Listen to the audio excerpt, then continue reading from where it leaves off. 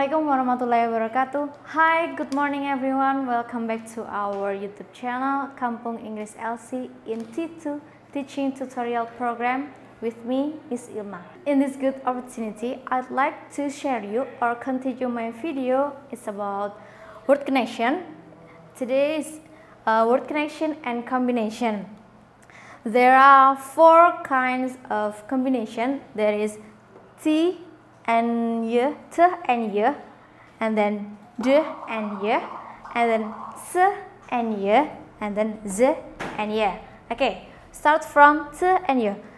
Jadi ketika ada kata yang berakhiran dengan suara T atau suara T, and then uh, kata selanjutnya diawali dengan suara Y atau suara Y, maka mereka ketika digabung atau di word connection kan akan menghasilkan suara C atau suara C tapi lebih tebal lagi. Nah, simbolnya seperti ini. Simbol seperti ini menunjukkan suara C ya. C tapi lebih tebal lagi. C. Oke, di sini ada contoh. I meet you.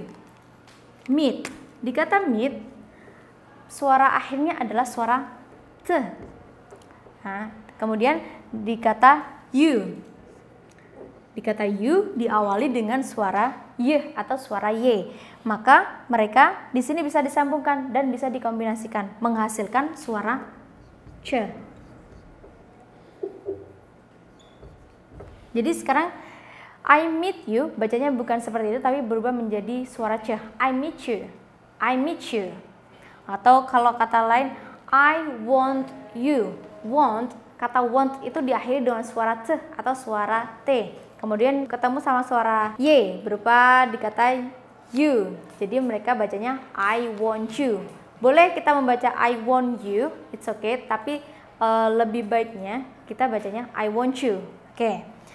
Nah, selanjutnya di kombinasi yang kedua ada the ketemu sama y. Jadi ketika suatu kata diakhiri dengan suara the ketemu sama kata yang diawali dengan suara y atau suara y, maka mereka dibaca menggunakan suara j. Simbolnya seperti ini. Jadi di sini ada simbol D, ada kayak D3.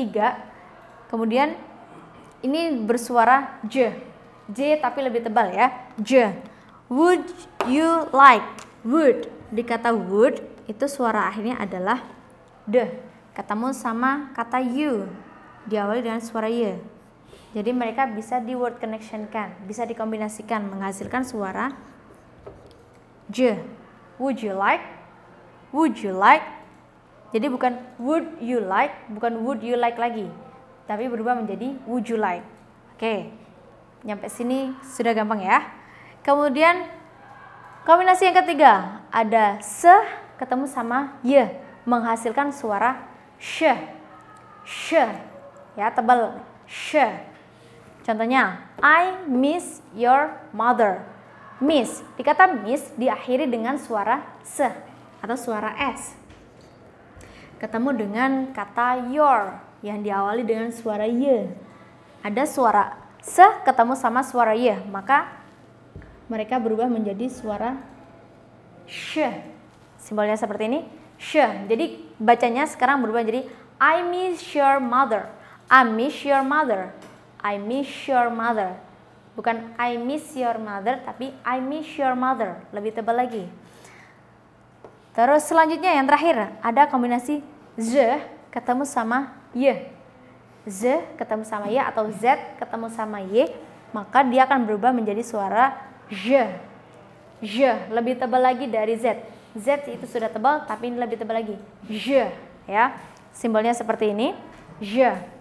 Contohnya, When I was your man. Di kata was, kata was itu diakhiri dengan suara Z atau suara Z, bukan S ya. Kemudian dia bertemu dengan suara Y.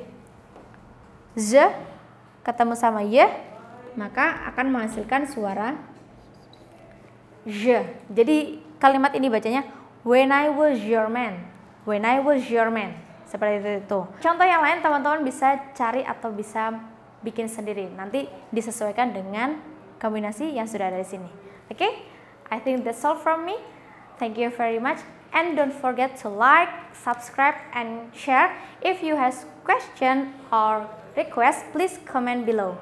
See you in the next video. Bye-bye. Wassalamualaikum warahmatullahi wabarakatuh.